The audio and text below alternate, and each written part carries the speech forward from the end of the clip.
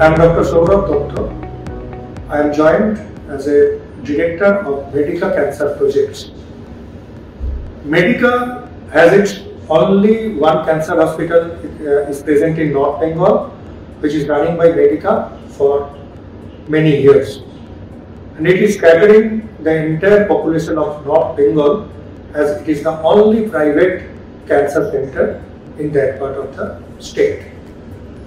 Now, the Medica group has decided to come up with a uh, state-of-the-art cancer center in Kolkata.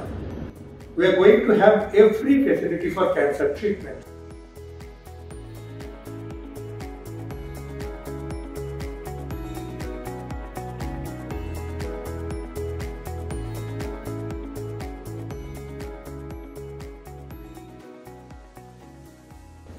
So in this cancer hospital, we will have all the modern technological facilities including best radiation machines, best PET CT machine, robotic surgery and moreover we are coming up with a state of the art pathological laboratory which will have all type of pathological tests available.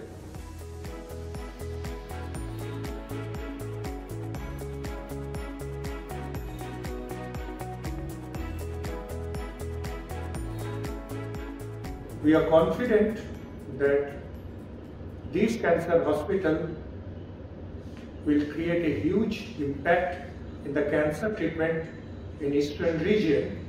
And we are confident that no cancer patient in future have to go out of the state for their cancer treatment.